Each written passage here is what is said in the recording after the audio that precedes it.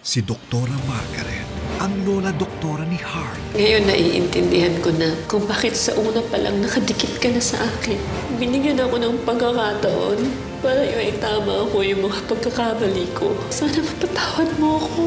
Natutunan niyang kapatawaran ang sagot para tuluyang maghilom ang mga sugat ng nakaraan. Mas marami pa mga bagay na mas mahalaga kaysa sa kayamanan at yun ang pamilya. Please watch us until the very end. We promise you a real good ending. My dear Heart.